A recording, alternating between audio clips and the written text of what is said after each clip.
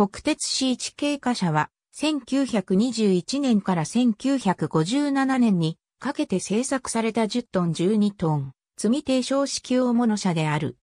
大正期には明治44年称号規定の星羽70型に分類されていたが、同形式の18両のうち、車体長と搭載荷重により、昭和3年称号規定で区分した6両が本形式とされた。また、同称号規定制定後に3両が新造されている。この記事では、本形式のうち6両が1968年10月ダイヤ改正実施に伴う時速 65km 制限適用により編入された国鉄市200系貨車についても説明する。それまでの四輪単車のような鉄道車両はメーカーから納入先へ輸送するに際して主に長物車を用いていたが、ボギー車化の進展などに伴って、その床下機器などが死傷するようになってきた。C1 型は、この床下機器等を回避するために低床部を設けたのが特徴であるが、低床式と言いながら、大正期に製造されたものでは、この低床部に荷重をかけることはできなかった。C1 型は大きく4つのグループに分けられる。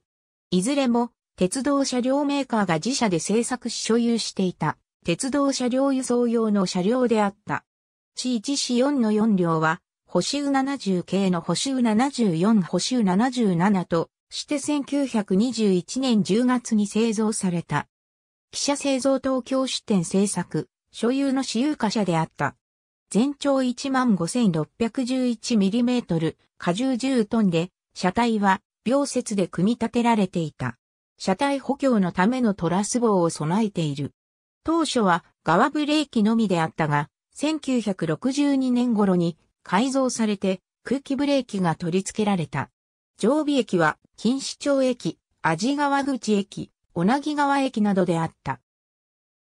四三灯に伴い、旧式台車を装備する、このタイプは、時速 75km 走行への対応不可とされて、市200系の市201市204へ編入された。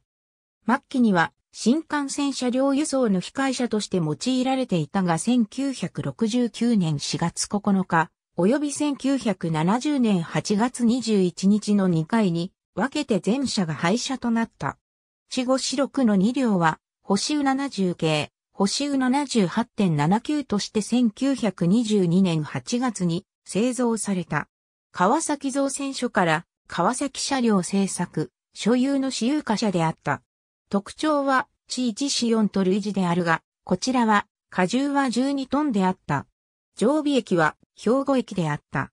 同様に、43等に際して、地200型に編入されて、地205市206となったが、1972年1月20日に2両とも廃車となった。市7市8の2両は、1953年6月30日に製造された。何は後期製作、所有の私有貨車であった。全長 15,800mm、荷重10トンで、対象機の2グループと異なり溶接で車体を組み立てていた。魚腹系の台枠を備えており、トラス棒はない。また、TR41C 台車を装備していた。43頭に際しては、時速 75km に最高速度を向上され、前の2グループのように、地200型へ編入されることはなかった。